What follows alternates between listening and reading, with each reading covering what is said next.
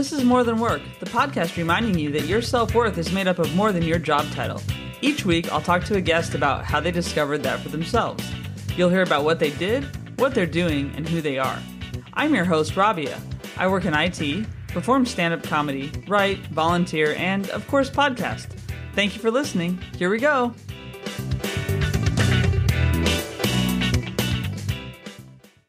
Hey everyone, welcome back to More Than Work. So my guest today is John El-Maraghy, and he is the director at Archangel Raphael's Mission, also called ARM, which I'll be sticking with because I couldn't say that twice now. So thanks for being here.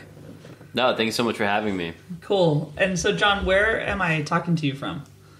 So I live in Jersey City, so right outside of New York, but ARM operates primarily in central and north Jersey. So we go probably about as south as the Jersey Shore for those who are familiar, uh, not from the television show, the real Jersey Shore. and uh, we go about as far north as basically where I live. So cover about a 30, 35 mile line across the central and northern part of New Jersey. Awesome. That's great. And did you grow up in New Jersey? Yep. Born in Jersey, raised in Jersey, and all indications are that I'll die in Jersey. That's what it's seeming like. Yeah, no, it's it's cool, and I know you're right across from New York. I was definitely in Jersey City a few times when I when I lived over there. But what did you start out doing before you were working at ARM?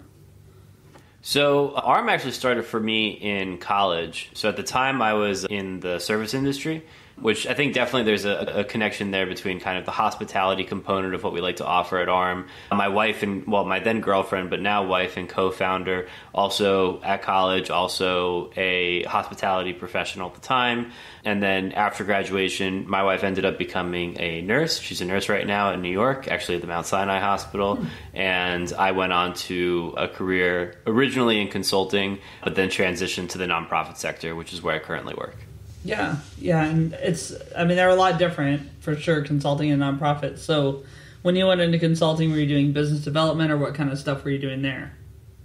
Yeah, so I was working primarily in like borderline impact consulting. I call it impact consulting. So we were primarily doing commercialization and exposure work. So things like like pitch competitions, like very Shark Tanky things to mm-hmm. highlight new and upcoming technology, specifically in the health space. And we would work for clients like the IFC, the World Bank, the City of New York, Robert Johnson Foundation. So very, you know, very nonprofit adjacent. But yeah, there's there was definitely a distinction between my consulting life and my nonprofit administration life. Mm-hmm. And then, so what brought you to deciding to move into nonprofit? Well, you know, I think for me, that was always where I wanted to be. Like, actually, one of the reasons I left my consulting roles because the the makeup and culture of the company had had switched more towards traditional McKinsey style consulting, where we would kind of just do management consulting and business administration and things like that. And I've often found that you know, and I kind of sometimes call it a curse. I mean, it's a beauty and a curse, but I really can't work well, you know, at, at the level that I like to be producing work at unless I really believe in in the mission of the organization that I work that I work for. It doesn't necessarily have to be nonprofit. You know, it can be for profit, but you know, it really does have to be there has to be a mission alignment for me, and that's why I knew that if I if I transitioned into the nonprofit world, I would never have to worry about a, a culture shift like we had when I was in the consulting world. Mm-hmm. Yeah, that makes sense, and especially as things have evolved over time. I mean people are looking for more meaningful or mission driven work and even in our lives we try to be more intentional. Some of us. I won't say everybody. Hopefully yeah exactly. Yeah. that's the goal. Do you know what brought you to that kind of mindset? Just because i'm someone who relates very very much to being service minded and being of of the thought that that kind of even mindset about working somewhere that you believe in their mission and values is important whether I do that or not all the time is another thing. But do you know what drove yeah. you to that kind of thinking and and life? Yeah, absolutely. I appreciate that question. So, you know, for me, it was very much like a journey of self discovery. So, ARM was kind of a expression of a, of a level of maturity that I hadn't reached up until that point. I was in college. Actually, I think at the time that I, it's hard to remember that far back, but at the time, I believe I was actually working full time, having not graduated college. College had kind of gone to the wayside, and you know, I was I was kind of just focusing on living like a young bachelory life, going out, that kind of stuff. And, and I realized I had a moment of of self actualization where I was like, this is extremely selfish and uh, I could very easily go down the wrong road here. And it kind of brought up the the conundrum of well, a lot of folks who end up like me and are lucky enough to progress professionally, and folks who don't, the deciding factor is usually just a support system. Mm. So that's where we kind of the initial thought behind ARM was, well, can we be a support to people in our community that maybe don't have as significant of a, of a support system. So it was it was definitely an expression of growth and an expression of appreciation for the, for the position that I'm in and, and the ability for us to affect change like that. Mm. Yeah, and that's a big insight to get, especially kind of at the age you were at too, because I think it's yeah. hard to recognize. I mean, what is often labeled as privilege or you know luck sure. or different things like that, right? Yeah, that's exactly right. Yeah, you know, it, it really comes down to luck. I mean, you know, I had friends in similar familial financial circumstances that that that experience uh, significantly more hardship and I had you know friends who didn't have as as much circumstances go on to to be very successful so you know for me it really was a realization that a a support system is in my opinion more of a privilege than having money in your bank account there's little that you can't do with people behind you mm-hmm. And so, besides being an inexplicable tongue twister for me, there's no reason it should be. What is ARM? Yeah, no, it is. It's it's impossibly long. We always make jokes about that ourselves. So at the time when we started ARM, it actually grew out of an existing church outreach or service. So I kind of got connected to this group after having this realization and kind of it kind of more and more became my responsibility as folks moved or got married or you know their life took them on a different course. And at a certain point we realized that it was it was important to spin off. But before that um, all church programs within our parish at least needed to have like a patron saint. And so mm-hmm. ours was archangel raphael and who is the patron saint of healing. And but so, yeah. so that's where the name comes from. Oh cool. Yeah and i mean I don't know. It's like easy for you to say. I don't know why. I kept I kept thinking Michael. There's one called Michael, right? Yeah, yeah. There's. Yeah. I mean, I'm by no means a theologian. There's. A, there's. There are a couple archangels. I think. Uh, I want to say. I, I want to say there's either four or six. I could be wrong there, but yeah, there there are multiple. I mean, Archangel Raphael happened to be the one that was the patron saint of healing. Okay, yeah, that makes sense. I don't know why. I'm gonna have to look up Michael because it's been in my head like the whole day for some reason, knowing we were gonna have this conversation, and so. So right now, are you guys a nonprofit that's not affiliated with the parish, or are you still part of the parish? Yeah, that's a great question. And that's another thing that one of the main reasons we go by ARM is because, especially where we are here in like central and north Jersey, you know, organizations with religious sounding names tend to be automatically associated with evangelistic organizations, mm-hmm. which we're not. You know, my wife and I are Christian, but we have atheist members, we have you know Muslim members. Like nothing that we do is inherently evangelistic. And and so it's that's one of the main reasons we do go by ARM because we want people to get the right impression of us. There's nothing wrong with evangelistic organizations. I just it's just not what we do. Right. That being said, though, we do receive a lot of support still from our church community. So mm-hmm. I'm a member of the Coptic Orthodox Church in New Jersey, and a lot of folks there are very generous and very loving people, and they continue to support us, and we definitely appreciate their support. Yeah, for sure. And so, what do you guys do as an organization?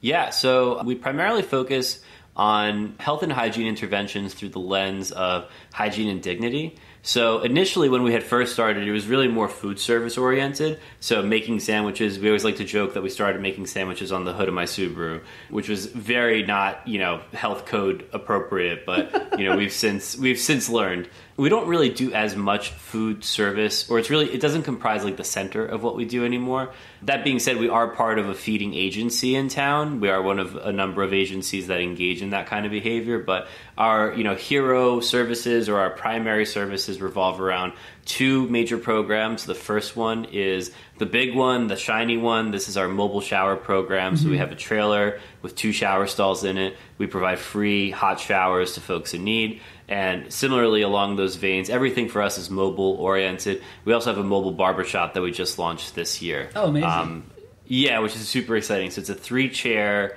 mobile barbershop that we're able to pull into you know the exact same places that we'd be pulling in for showers. So we're we're looking at probably alternating those services throughout the the summer. So we primarily operate in the warm weather months, so from about early June through to mid October. Mm-hmm.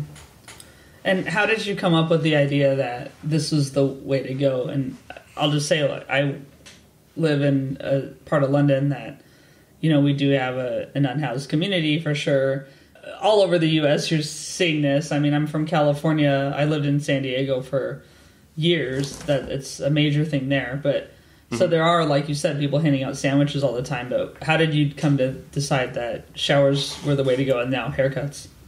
And so for us, we initially had started with, you know, food service. And at the time, Rutgers had like a very vibrant food truck culture. And so we thought it'd be kind of cool to get like a mobile food truck, like a mobile soup kitchen, which is still innovative, but much mm-hmm. more common throughout the world.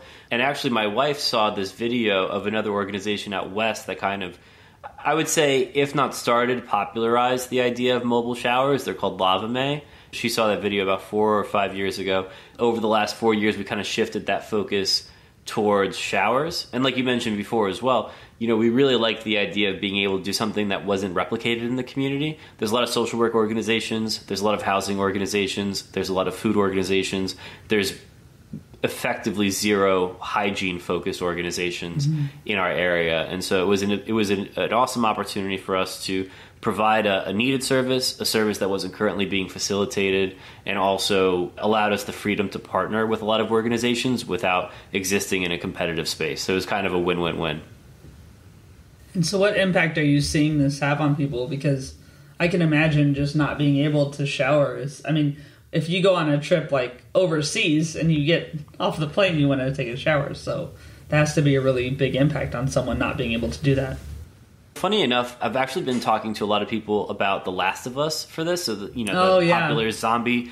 Yeah, and yeah. there's like a number of episodes in this series or in season one where like a character finds out that there's running water and that mm-hmm. they can take a mm-hmm. shower and they are like blown away, you know? And so it's, it, it really creates that same experience. And I'm so glad that really good actors and and writers have kind of included this multiple times throughout the series. So I encourage I don't I'm not paid by HBO. I wish I was, but I, I, encourage everyone to to go watch The Last of Us. Specifically, I think it was episode three that like the one that everyone's like very yeah. emotionally touched by. There's a there's a, a portion there where a character is like offered a hot shower and it's like it's very invigorating for them. It's really the same experience that we see every day. You know, I always like to say a shower is not going to change someone's life, but it is going to change their day and it's mm-hmm. going to make them feel supported in the community. Especially as we look at this from a like a cause area perspective, there's an importance of creating more availability for hygiene in our community. So showers are a very obvious one, but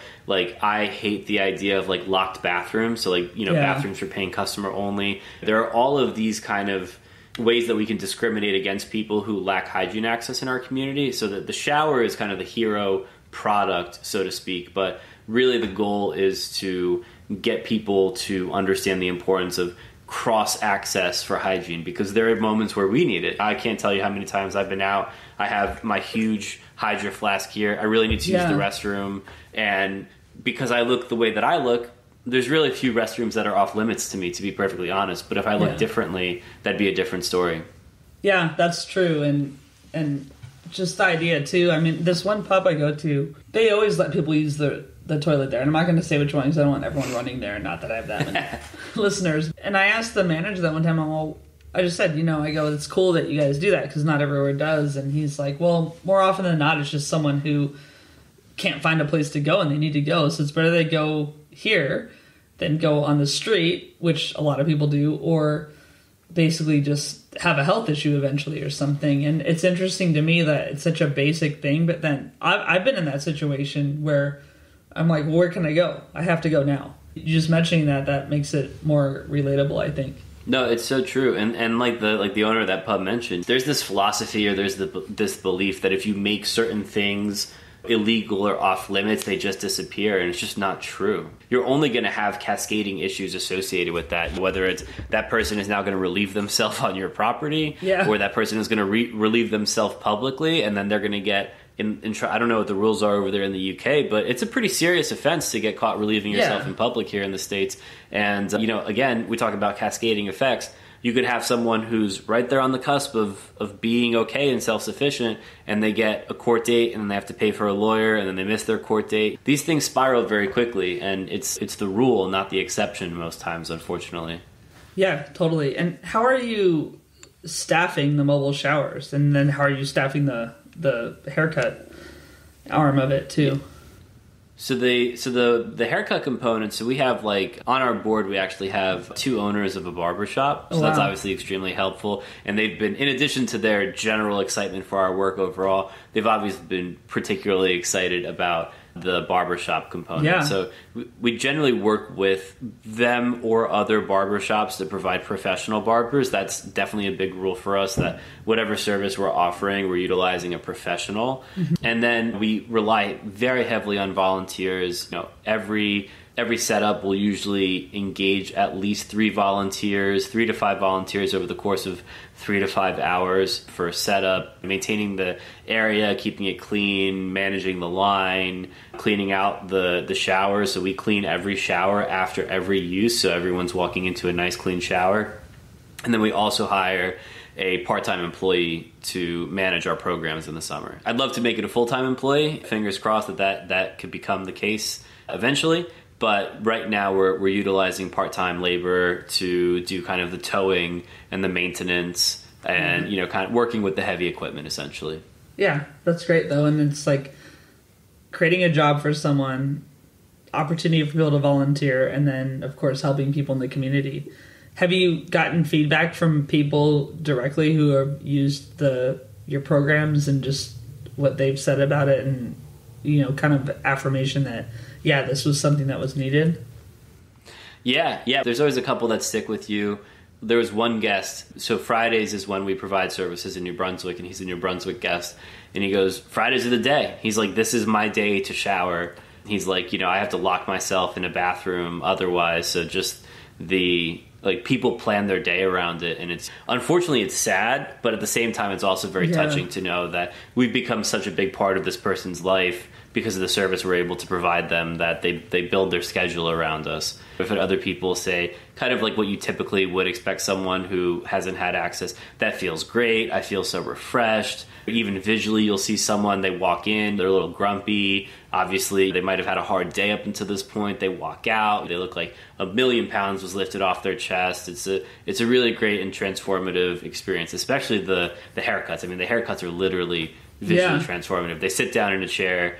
20 minutes later, 30 minutes later, they literally look like a different person. So it's uh, all great feelings, and we, we're very happy to have very positive feedback from our guests about the services.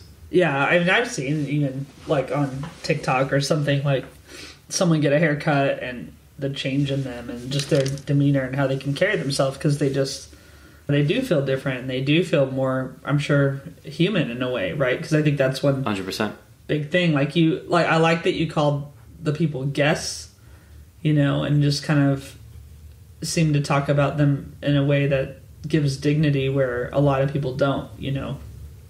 Thank you. Yeah, that's very important for us. You know, we, we always use very hospitality focused language. So, guests, services, offerings. We always try to frame things as a just like you would when you go to a hotel, right? When you go to a hotel, people are thanking you the entire time that you're there. They're asking you what they can do for you. You know, I mean, like in a pipe dream, I'd love to hire someone from like hardcore hospitality background eventually to to run some of the programming for what we do because that's definitely we always say we want to facilitate as close to a spa like experience as we possibly can. Mm-hmm. I appreciate you picking up on that because it is a, a major component of our work, and we've noticed that there are you know we're obviously not the only folks that do this in our communities, and I I would hazard to say we're the favorite, and I think a lot of the reason that we're the favorite is because of the way that we treat folks. It's not just here, use it, you know, be thankful that it's here kind of thing. You really you're thanking people for joining you. You're thanking mm-hmm. people for supporting your work. You're thanking people for trusting you because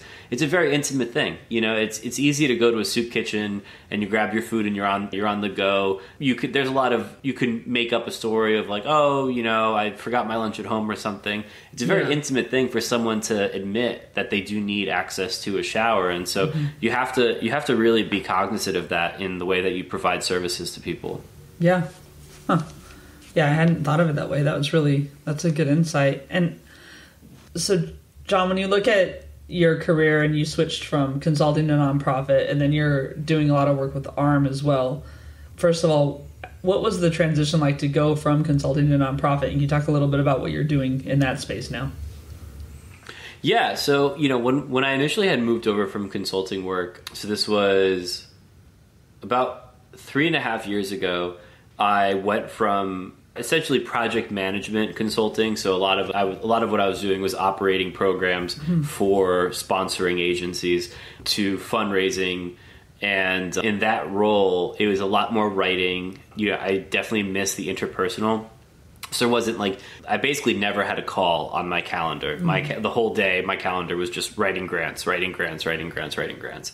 And I, I think I, I, definitely got I got sick of it, to be perfectly honest. And, um, I ended up moving back into the operation side of things as a volunteer director, and and then that was great because that was all ops. I was in the field three to five days a week. It was very very engaging but then also I uh, I missed the fundraising component, and so in my my most current role that I moved into earlier this year, I have the the pleasure of kind of combining both of those. So I do uh, corporate fundraising mm-hmm. for mm-hmm. a volunteer agency, and so what I do is it's a lot of kind of sales and fundraising, person to person fundraising, calling people, managing relationships. But then there's also a component of being in the field, making sure people are happy with the, the service that they've invested in in the nonprofit. So it's a nice combo um, and very, very different from the for profit world in that regard. You know, in the for profit world, it's it's primarily based around very strict timetables. You're a lot more kind of at the mercy, for lack of a better term, of your client in the nonprofit world, there's a lot more partnership oriented work, which is nice. So there's you're a little bit more of an equal partner in that regard, and I definitely appreciate that. I don't like the idea categorically. I mean, across life, I don't like the idea of one group having you know a ton of power over another group. I'm more mm-hmm. of an mm-hmm. equality oriented person, and so in the nonprofit sector, when it comes to corporate partnerships, you really are kind of working together as partners to achieve a mutual goal of your choosing. So in this case, it would be volunteer events. Yeah. That's awesome, and it's cool that you were able to. You've been able. Now I'm a project manager by trade. Also, I've transitioned out of that role myself, but that's. I think once you are one, that's what you, you are. You're always one. Yeah. Yeah. Yep. It doesn't doesn't change. You your brain doesn't change that much, but I think it's cool that you've been able to apply that to go into nonprofit space and also for your career, but then also as a volunteer and one thing I want to ask you about, because you've mentioned a couple times that you rely on volunteers for quite a bit, and then you yourself are one. And one thing I try to tell people is whatever capacity you have to give, people will be able to accept that from you if you can give it. And I think you're a good example of showing that people might just be cleaning the showers or they might be doing what you're doing, which is a more director role. And so What's your experience been both as a volunteer and working with volunteers? And do you agree with what I've said, basically? I mean, yeah, I agree 100%. You know, I would say, and I would also say that, you know, for folks who are looking to volunteer, really think through it in terms of how you want to impact the world. Like, I, what I always find is like, you get a lot of entrepreneurs in in some kind of social space because they have a very specific picture of what they want to do and you actually can find a volunteer oh, almost to a T. You can find a volunteer role that will give you that experience if you do your homework on like, okay, what cause area am I interested in? What kind of volunteer engagement am I interested in? Are you the kind of person that likes washing feet for lack of a better term are you kind of on the road you want to do the dirty job or do you want to do what you do as a professional for a nonprofit for example something that I would love is someone like me who has a fundraising background that can join me on the fundraising side, right? And that requires skill and it also requires time. And that's another thing too is are you looking to do one-off volunteer engagements, a couple hours here, a couple hours there, or are you looking to do a long service with one agency? Are you looking to become an advisory board member or someone that's really built into the volunteer staff of the agency? I can say from personal experience that if you can think it your nonprofit of choice probably needs it, even big ones. We're just so talent starved in the nonprofit space because there are a lot of societal expectations. I actually just saw an article on LinkedIn about how they, I forget who it was, but they did a study and they said that nonprofits really should be spending close to 30% of their income on operate on admin in order to really accomplish their goal. Mm-hmm. And the societal expectation is about a third of that. So they they usually say people start to to give a weird look on your financials if you're doing more than 10% administrative costs. So mm-hmm. so volunteering is a great way to kind of get in the middle of that and say, "Hey, listen, I'm an accountant. I can do your books for you." It takes an accountant almost nothing to do to have one more client as as a bookkeeping client and it yeah. means the world to a nonprofit. So whether it's you getting involved individually or getting whatever your firm is involved that's a huge way to make a massive difference in whatever cause area you care about. Yeah. No that's great so john one thing i like to ask everybody who's on the podcast is like do you have any advice or mantra that you want to share with people just something maybe that you follow or something you, you think is important for them to think about? Yeah, that's a great question. So I would say something to think about is something that I like to think about is always how can I provide a more dignified experience? So whether that's having a I think about people in traffic when you're sitting in traffic and there are folks that are panhandling, asking for money or supplies or whatever. You know, how how can you have a more dignified experience with this person instead of just looking down at your phone or pulling your car up, which we've all been guilty of, by the way. I'm not I'm not here to judge people, but a couple things that I I have tried to challenge myself to do in a situation like that would be opening the window and saying, "Hey man, I'm sorry I don't have anything, but I hope you have a great day." It's free, it's easy, it affirms the dignity of the person that you're dealing with. Another thing that my cousin likes to do, which I love, he takes he makes care packages with his wife and he keeps a couple in his car at all times. If you're not the kind of person that likes to give out money, I don't really get involved in that debate, money or goods, but the important thing is that you're offering someone something that might be helpful for them. Uh, so that would be that would be my mantra or thing to think about. How can you always make this experience more dignified for the person that you're working with? Nice, that's great. Well, thanks.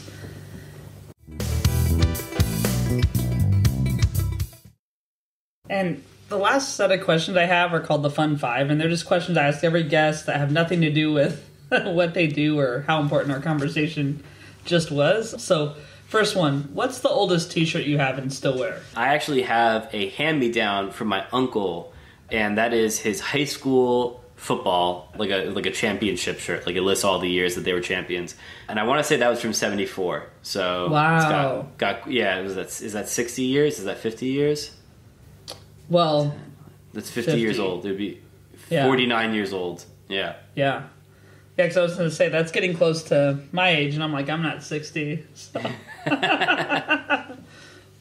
awesome. All right, cool. That's great. If every day was Groundhog's Day, what song would you have your alarm clock set to play every morning? So back when my car used to like automatically play the first song in my library, Yes. Uh, no matter what, and I, am so glad that car manufacturers have figured that that that is not a good system. it was A Punk by Vampire Weekend, and it's nice and upbeat. So I guess, I mean, I don't know how many times I could listen to that every single day for the first time, but it would definitely wake me up, and it for at least the first couple times, it would put me in a good mood. Awesome. Yeah, that is so so annoying. totally. yeah, and this one is coffee or tea or neither. Oh well, okay. So technically, for me, it's energy drinks, but oh. those are very bad for you, and I don't recommend people drinking energy drinks. so my second would be coffee. So that's the one that I'm trying to make my first. Nice. Well, what energy drink do you prefer though? If you're gonna go that way. So I was like borderline addicted to Red Bull. I would have mm. two Red Bulls a day because that was the deal, oh and that's gosh. how they get you. It's two for two for five. Oh yeah. So you yeah. just you you start off your day, you get two, you drink two, whatever. Um, so for me, it was Red Bull. It was, um, and uh, I haven't had a Red Bull since that was my New Year's resolution. No more Red Bull. So I'm completely off Red Bull, but I will from time to time drink a Celsius. I do like you know they claim to be slightly healthier. I don't know how true that is, but that's that's the one that I'm drinking now whenever okay. I do need an energy drink. Gotcha. All right. Yeah, that's wow. So you had you had a lot of wings for a while. yeah, yeah, yeah. I was winged out. nice. All right. Can you think of something that just makes you just crack up, like laugh so hard you cry, or just kind of I don't know, even chuckle to yourself when you think of it, or the last time that happened to you? Yeah, in general, dad jokes. I love dad jokes. Whenever one pops into my head, I just I laugh to myself. You know, it's I love them. I could live for them. Yeah, nice.